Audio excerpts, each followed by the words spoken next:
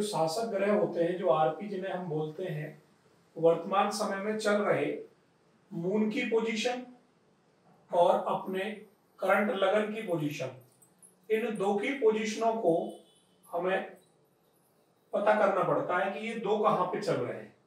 तो इसके लिए हमें क्या क्या चाहिए होता है? एक डे लॉर्ड चाहिए होता था। डे लॉर्ड दिन का स्वामी मून नक्षत्र चाहिए।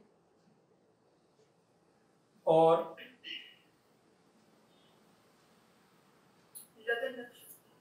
लगन, राशि स्वामी, लगन नक्षत्र स्वामी, और लगन सबलॉर्ड, और मून आरएल। मून राशि स्वामी। इन छह इवेंट्स की हमें ज़रूरत पड़ती थी किसी भी आरपी को फाइंड आउट करने में। क्योंकि आप जब भी अब इस आरपी से बहुत सारी चीज़ें हमें मिलने वाली हैं, क्योंकि आरपी एक वो चीज़ है किसी भी व्यक्ति के जीवन में आप जब विदाउट डेट ऑफ़ बर्थ कोई काम करेंगे तो वहाँ पर भी आरपी का रोल रहेगा। और शासक ग्रह किसी व्यक्ति के करंट सिचुएशन के बारे में भी बताते हैं। शासक ग्रहों से आरपी से आप किसी व्यक्ति की करंट पोजीशन के बारे में जान सकते हैं। करंट पोजीशन के बारे में कैसे जान सकते हैं? आपको सिंपल ये देखना है, जो व्यक्ति आपके पास आया है तो जो मून है, मून का नक्षत्र, ध्यान रखिए। हमेशा दो, किसी भी व्यक्ति के बारे में जानने के लिए वो आपके पास क्यों आया है, हमें दो चीज़ों की आवश्यकता पड़ेगी, मून की और मून के नक्षत्र की। ये दो बहुत ज़रूरी इनसे कैसे पता चलेगा?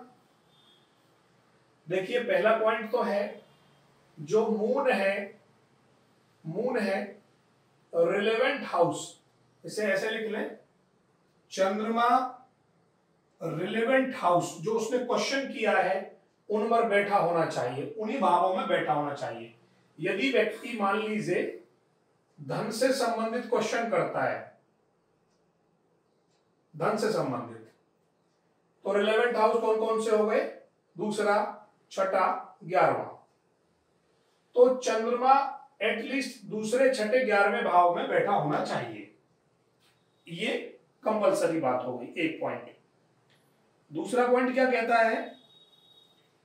दूसरा हमारा जो पॉइंट है, वो ये कहता है कि चंद्रमा का नक्षत्र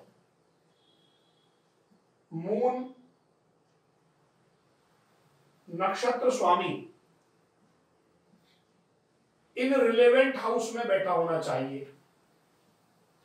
यदि इन रिलेवेंट हाउस में वो नहीं बैठा है तो सामने वाला जो आपसे प्रश्न कर रहा है, वो आपको जनरली ऐसे ही सिर्फ़ एज पर टास्क के लिए क्वेश्चन कर रहा है। वो जनरल क्वेश्चन कर रहा है। तो ये जो दोनों फंडामेंटल हैं, ये आरपी में भी हमारे बहुत अभी और डिटेल में मैं बताऊँगा। तो अभी दो फंडामेंटल आपको बताए हैं। पहला फंडामेंटल क्या बताया है? मून और मून का नक्षत्र। जब भी जो व्यक्ति आपके पास आता है, हमेशा ध्यान रखिए मून कहाँ बैठा है और मून का नक्षत्र कहाँ बैठा है।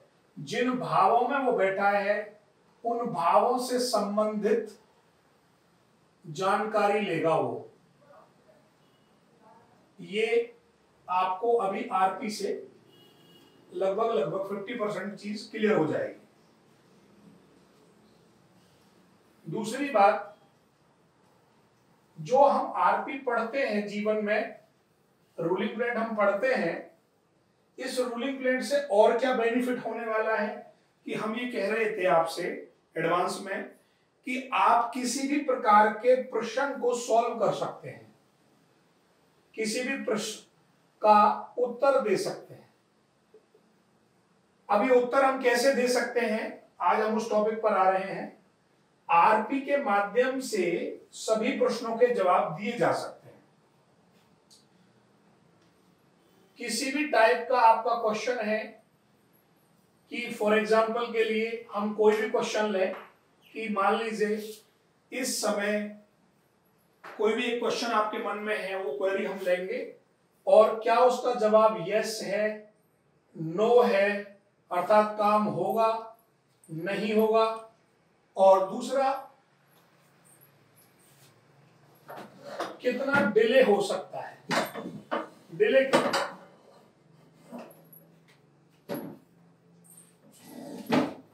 आरपी हमें इस चीज़ के बारे में बड़ा क्लियर कट आंसर देती है कि किस व्यक्ति के प्रश्न का उत्तर क्या होने वाला है, कि उसका कार्य होगा?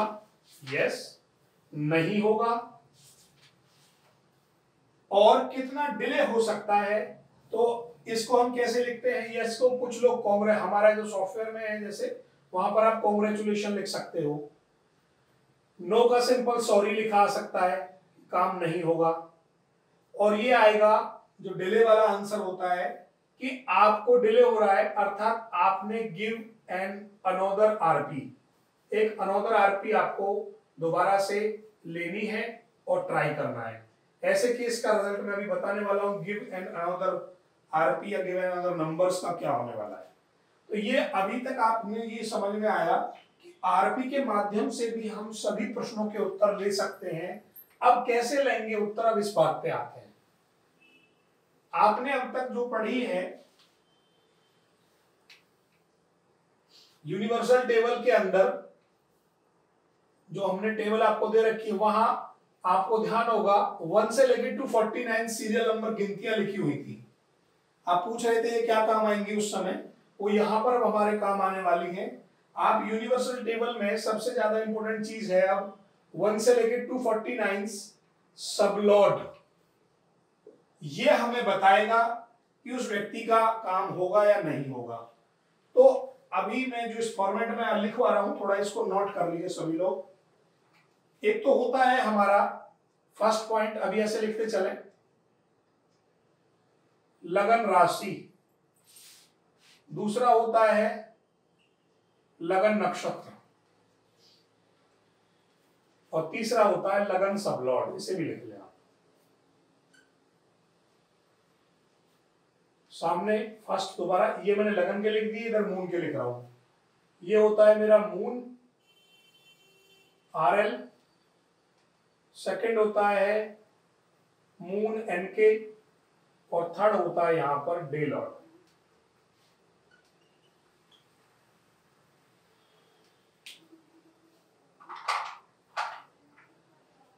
ठीक है जी? इसी ऑर्डर में आपने इसको हमेशा याद भी रखना है। अब यहाँ पर आप ध्यान से देखिए, जो सबसे ज़्यादा पावर होती है, वो नक्षत्र के पास होती है।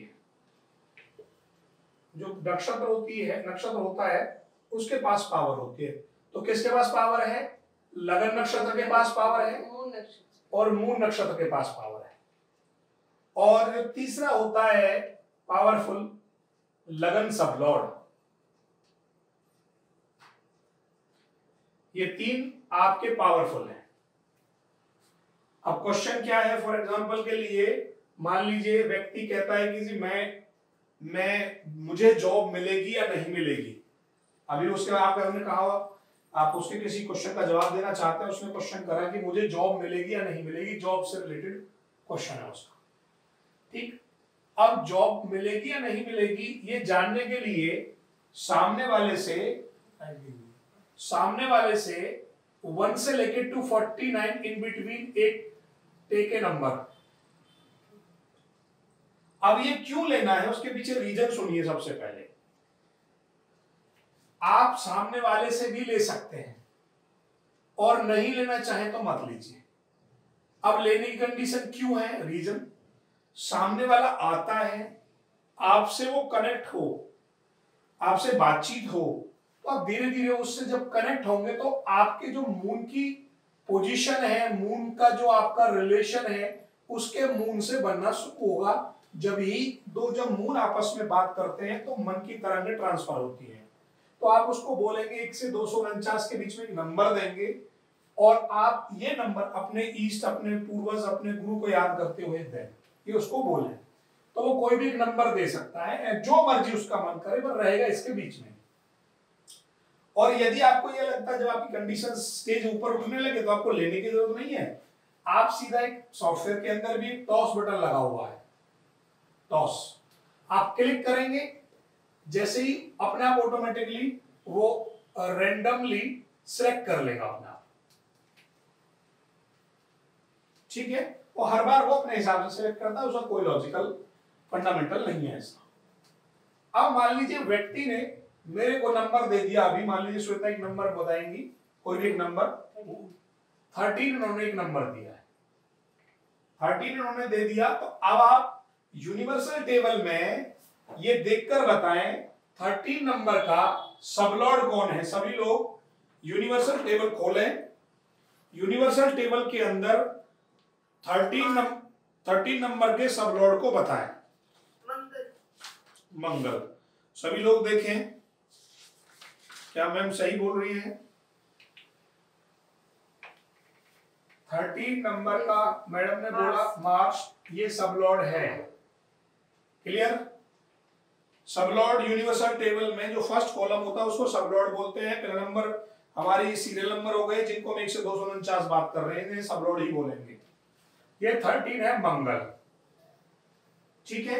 यदि मंगल लगन के नक्षत्र पोजीशन पर आता आए, या मून के नक्षत्र पोजीशन पर आए, या लगन के सबलॉर्ड पोजीशन पर आए इन तीनों में से कहीं भी वो एक पोजीशन पर अगर आ जाता है तो आपका जो आंसर है, वो यस कॉन्ग्रेचुलेशन में कन्वर्ट हो जाएगा। आपको कॉन्ग्रेचुलेशन मिलेगा कि उसका काम हो जाएगा। और यदि वो इन किसी भी इन छह पोजीशनों में से कहीं भी नहीं आता है तो सॉरी लिखा आएगा। नहीं होगा। और बची हुई पोजीशनों में से लगन राशि, मून राशि डे लॉर्ड इन तीन पे आएगा तो क्या कहलाएगा? वीक। कि काम तो होगा, परंतु डिले के साथ होगा। अब कितना डिले होगा ये जानने के लिए उससे एक बार और नंबर लिया जाता है। यहाँ पर ये वीक की जो पोजीशन है, इसको डिले बोलते हैं। डिले को भी हम गिव एन अनदर नंबर के रूप में शो करते हैं। जिन लोगों को वन टेक में आंसर देना है, वो वन टेक में भी दे सकते हैं। पर हम एक बार और जस्टिफाई करते हैं कि एक बार ये देख लें, क्योंकि ये मिसलिनियस में चला गया है वीक में गया है। अगली बार हम यही देख लें कि इसका काम होगा या नहीं होगा, अभी दोबारा एक नंबर लेंगे। अब थर्टीन के बाद मान लो उन्होंने नंबर दे दिया टू क्या टू फोर्टी वन का सबलॉर्ड देखिए अब कौन है? टू फोर्टी वन मरकरी यदि मरकरी दोबारा से लगन नक्षत्र, मून नक्षत्र और लगन का सबलॉर्ड बन जाता है तो जो कार्य डिले हो रहा था, उसको हम बोल देंगे, ये थोड़ा डिले होने के बाद अगले ही अटेम्प्ट में आपका काम कॉन्ग्रेचुलेशन में जा रहा है, हो जाएगा। ठीक? और यदि वो इस अटेम्प्ट में भी लगन राशि मून राशि और इसमें आएगा तो हम कहेंगे ये डिले है सॉरी ये कार्य नहीं होगा। तो आप रूलिंग प्लेनेट के माध्यम से किसी भी प्रश्न का जवाब बड़े आसानी ढंग से दे सकते हैं, और ये कंप्लीटली सॉफ्टवेयर में लगी हुई है। चीज़, अभी आपको मैं जैसे लाइव अब दिखाऊँगा कि कैसे इसको रन करते हैं और कैसे इससे रिज़ल्ट निकालेंगे। ये जो पार्ट अभी बताया, ये रूलिंग प्लेट का ही सारा पार्ट चल रहा है। जैसे आप लोग स्क्रीन पे देखें। अभी देखिए, अब हम प्रॉपरली एक शेड्यूल के लेते हैं और एक पूरा एक एग्जांपल करेंगे, इससे आपको क्लियर हो जाए अभी राइट नाउ ये होता कैसे इसे करते हैं। जब भी व्यक्ति आपके सामने आएगा उस समय की आपको करंट डेट ऑफ़ बर्थ और टाइम लेना है। करंट का। इसको डेट ऑफ़ बर्थ नहीं बोलेंगे। करंट डेट बोलेंगे। सीधा सीधा सा करंट डेट आपने नोट कर दी जिस समय वो आया है करंट टाइम नोट करना है और आप जहाँ बैठे हो उसका आपको प्लेस नोट करना है। तो अभी क्या हमने फॉर एग्जांपल अभी एक व्यक्ति आया उन्होंने हमसे पूछा, कोई भी क्वेश्चन तो अभी जो हमारा चार सितंबर फोर सितंबर 2001 और टाइम हो रहा है हमारा पाँच बज के तेईस मिनट पीएम फरीदाबाद। ठीक है जी? यहाँ हम सबसे पहले उनसे अगर कोई भी क्वेश्चन उन्होंने किया है तो take a horary number sorry sublord number अभी हॉररी वर्ड यूज़ नहीं करेंगे हॉररी अगले में आएगा. Take a sublord number S L number सामने वाले से एक नंबर लेंगे. किसके बीच? In between one two forty nine मान लीजिए उसने सिक्सटी थ्री नंबर दिया. अब आप देख लीजिए कहाँ डालना होता है सिक्सटी थ्री नंबर ये आपके सामने यहाँ सिलेक्टेड नंबर लिखा हुआ है. आप यहाँ पर सिक्सटी थ्री डाल सर, मैं भी फ़ोन पे? कोई दिक्कत नहीं आप नंबर हमने डाल दिया। बस, अब आपने देखना है 63 नंबर का एसएल कौन है कौन है? मून ये नोट कर लिया। अब इस जो आपको चार्ट मिला है, जो आपको इवेंट मिला है, इसकी कुंडली बनाएँगे। ठीक है? कुंडली बनाने के लिए वही सिंपल आपको ज़्यादा चीज़ों की कोई ज़रूरत नहीं है। बस लगन निकाल दीजिए और मून की पोजिशन निकाल लीजिए लगन जो आपकी आएगी इस समय मकर लगन आ रही है। दस ग्यारह बारह एक दो तीन चार। आपकी मकर लगन आ रही है। बस दो चीज़ें लिख लीजिए। लगन की जो डिग्री है वो नोट कर ले आप। 24 डिग्री है। लगन मेरा 24 डिग्री का है। और जो मून है मेरा, वो बैठा है आपका कर्क राशि में 16 डिग्री का। ये मेरा मून है, कर्क राशि में 16 डिग्री का। ये दो चीज़ निकालनी आप सिंपल वो सारी चीज़ें बनाइए। यहाँ पे स्टेप नंबर वन, लगन आर एन लगन, एन के, लगन सबलॉट ये तीन चीज़ निकालिए। R N then moon N K then day lord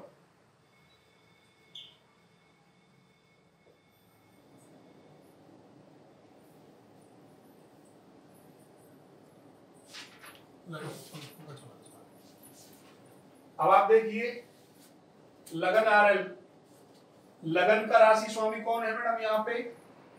मकर का शनि। शनि। ये लिख दिया आपने? लगन आपकी कितने कितने डिग्री पर है मैडम? चौबीस डिग्री। पर है, तो नक्षत्र क्या आ जाएगा लगन का? मंगल। ये यूनिवर्सल टेबल से निकालते हुए आप चले जिनको नहीं समझ में आ रहा है वो स्क्रीन पे देख सकते हैं वो वहाँ निकले हुए रखे हैं सारे। लगन का सबलॉर्ड क्या निकलेगा? राहु। हाँ सब तो वहीं से देखना पड़ेगा वैसे इसमें तो यूनिवर्सल नहीं नहीं आप वहाँ से देख सकते हैं। यूनिवर्सल टेबल क्यों देख सकते? निकालो। लगन का सबलॉर्ड 24 डिग्री पे कितना आ रहा है? मून राशि लॉर्ड कौन है? मून कहाँ बैठा हुआ है? कर्क राशि तो मून क्या हो गया? खुद का ही। मून ही हो गया। मून नक्षत्र कितना हो जाएगा? सोलह डिग्री पर। लास्ट से कौन से बचे? गुरु, शनि, बुध। शनि हो गया नहीं हुआ? शनि। सैटर्न और डे लॉर्ड क्या है आज का? सैटर्न ये चीज़ आपने निकाल दी। निकाल दी मैडम? हाँ अब आपने उससे जो नंबर लिया था कितना लिया था? 63 63 लगन का सब लॉर्ड कौन था? मून मून था। ठीक है? सब लॉर्ड लगन का सब लॉर्ड तो राहु है मैडम बट 63 नंबर का जो सब लॉर्ड है वो कौन है? 63 नंबर का सब लॉर्ड कौन है? मून है। अब आप देखिए बड़ा clear cut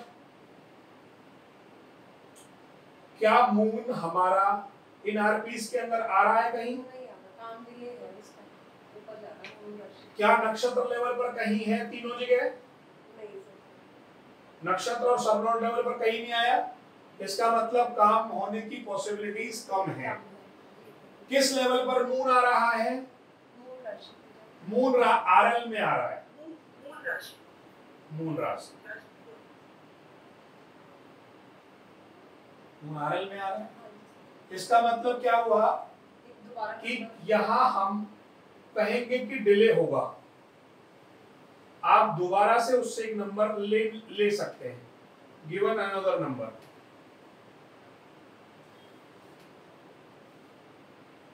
given another number अब मान लीजिए आपने उससे 108 ले लिया। 108 का वो देखिए क्या आ रहा है। सेटल सेटल शेल सैटर्न क्या हमारा नक्षत्र नक्षत्र के उस पर है। तो काम किसमें कन्वर्ट हो गया आपका? कॉन्ग्रेचुलेशन में नहीं। सर वैसे तो होगा काम बट थोड़ा सा इसको डिले होगा काम। क्योंकि पहले इवेंट में नहीं हो रहा हाँ, था पहले इवेंट में नहीं आप कह सकते हो एक बार ट्राई में नहीं होगा दूसरे ट्राई में होगा। हाँ। ठीक है? और डिले भी इसलिए बोल सकते हो कि आपको कौन मिला है लगन का सबलोड यहाँ पर?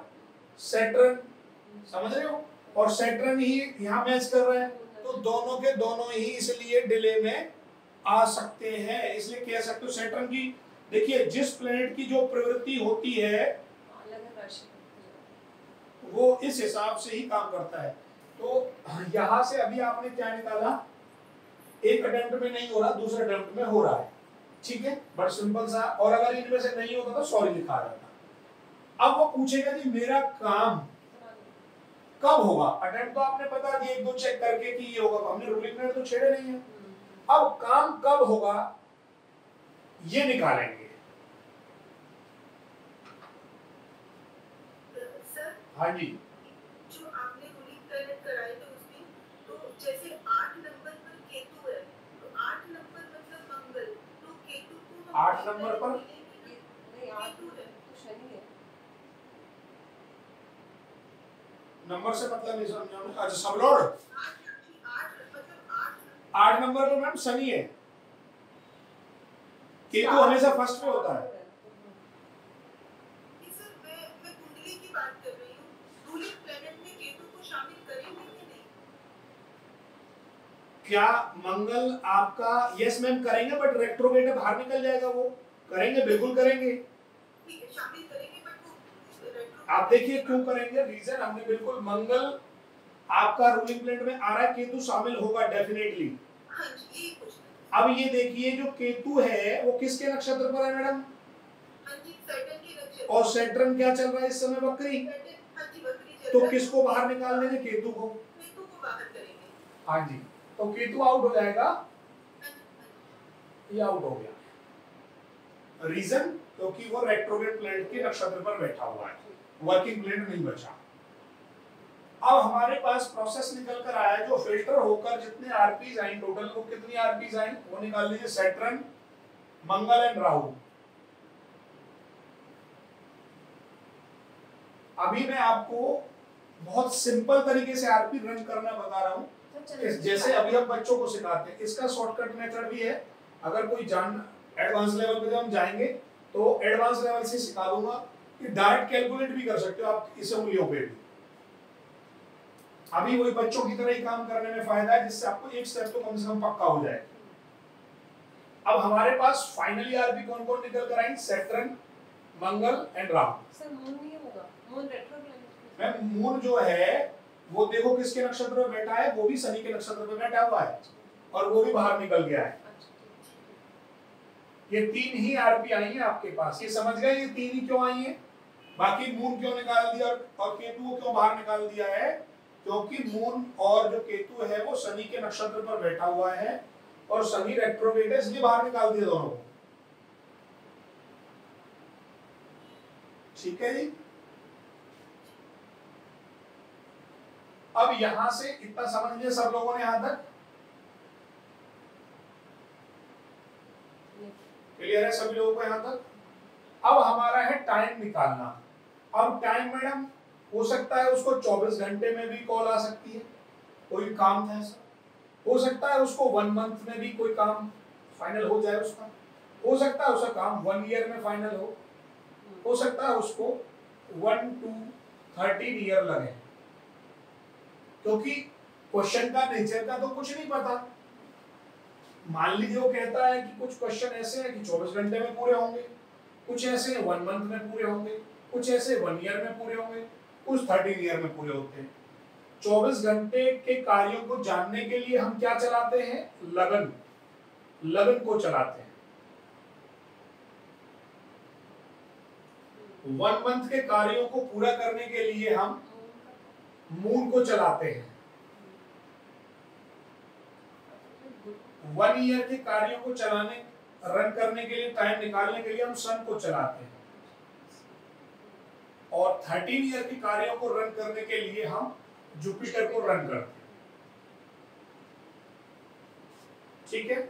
तो लास्ट टाइम आपने क्या सीखा था?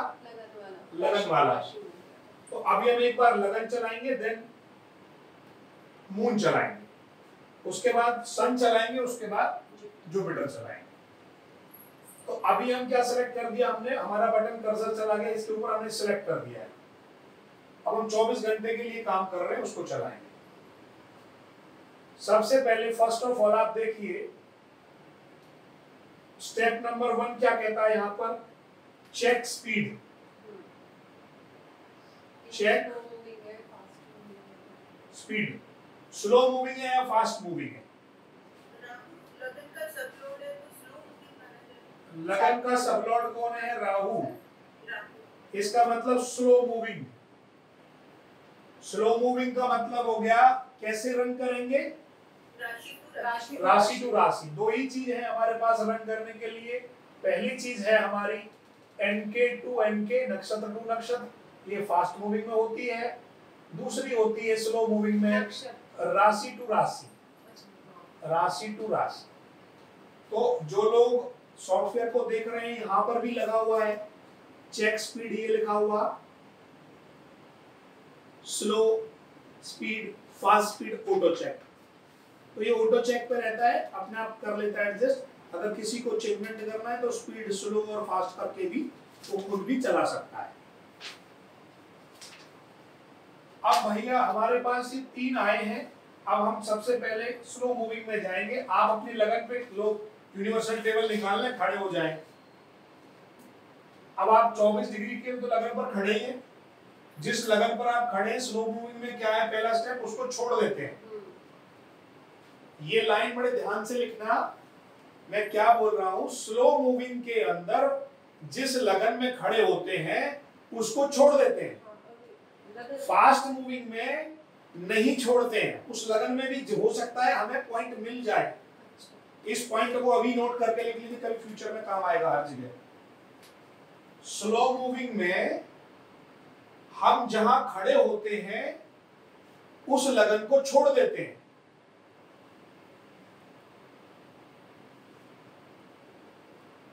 Fast moving fast moving speed में हम जहाँ खड़े होते हैं, उस लगन को नहीं छोड़ते हैं, बल्कि अगले नक्षत्र पर जाकर अपनी वर्किंग प्रोसेस चालू कर देते हैं।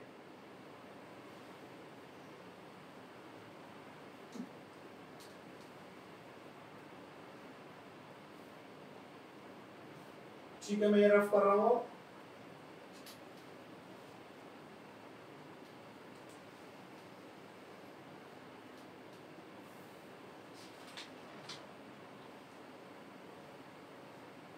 चलिए। अब हमारे पास क्या आ गया? मकर लगन। अगली लगन किसकी आएगी? कुंभ की। कुंभ का स्वामी कौन होता है? शनि। शनि आरपी के अंदर है। यस अब एक कुंभ के अंदर कौन कौन से नक्षत्र होते हैं? मंगल राहु जुपिटर। मंगल राहु में से कोई है? पहला ऑलरेडी मंगल है शनि मंगल राहु। पहला अटेम्प्ट आपका ये बन गया। ठीक है मैडम? फ़र्स्ट अटेम्प्ट कहा बनना है? मंगल राहु। राहु नहीं बन रहा है। सर फिर उसके बाद ना वो राहु में बन रहा है? मैडम मंगल में राहु सब लॉर्ड पे नहीं। कि मंगल में राहु नहीं इसे राहु राहु में सैटर्न ना? हमें सब लॉर्ड नहीं मिला। इसका हाँ, मतलब लैंडिंग नहीं। करने दे रहा। ये पोजीशन हमारी नहीं बनेगी। अच्छा मैं नेक्स्ट डे अगली शनि मंगल के बाद आएगा राहु। और राहु में मंगल आप ले सकते हैं। 19 डिग्री। 13 मिनट। ये लैंडिंग हमारी बन गई। फ़र्स्ट लैंडिंग क्लियर है? सर ये 19 डिग्री पर कैसे आया ये? वो सब? सब लॉर्ड ये राशि लॉर्ड तो 10 डिग्री पे नहीं है क्यों मैडम मंगल पे जाएँगे ना? दस डिग्री पे कहाँ आ जाएगा? जुपिटर है दस डिग्री पे तो। अरे नीचे उतरो ना उसकी राशि कुंभ राशि में जाओ आप गलत पद राशि में हो। नहीं सर मैं कुंभ राशि में ही हूँ। तो कुंभ राशि में किस पे राहु सेकंड वाला- राहु पे तो राहु के सब में अंदर जाओ। हाँ तो ये जुपिटर तो है नहीं सैटर्न है। तो मैडम हमें तो जो आ चुका है ना वो तो सैटर्न तो दोबारा अच्छा आप ये कहना चाह रहे हो आपको सैटर्न राहु सैटर्न हाँ जाना तो जा, जा सकते हो। ठीक है। कुछ लोग यहाँ पे राहु सैटर्न में जाना चाहते हैं जा सकते हैं। जा सकते बिल्कुल ठीक है, कोई दिक्कत नहीं। जो, देखिए इधर समझिए सब लोग? रूलिंग प्लेनेट का अभी जो तुम्हें समझाया जा रहा है, वो फंडामेंटल ये है कि एक बार जो पहले मिल जाता है, वो रिपीट भी हो जाता है, कोई दिक्कत नहीं। शनि, राहु, शनि आपको मिल गया, दस डिग्री पे आप जा सकते हो, ओके, हमारी तरफ़ से। बट एक रूल जब एडवांस में जाओगे, वो अभी से बता दूँ कि जो पहले बुक हो चुका है ना वो रिपीट नहीं होना चाहिए। इसलिए वो मैं मंगल पे पहुँच गया। बट आप ठीक है अपनी जगह अभी क्योंकि मैंने वो एडवांस रूल बताया ही नहीं है तो आप यहीं पर रहेंगे। कल हमने किया मतलब लास्ट हाँ। आप यहीं पे रहेंगे यस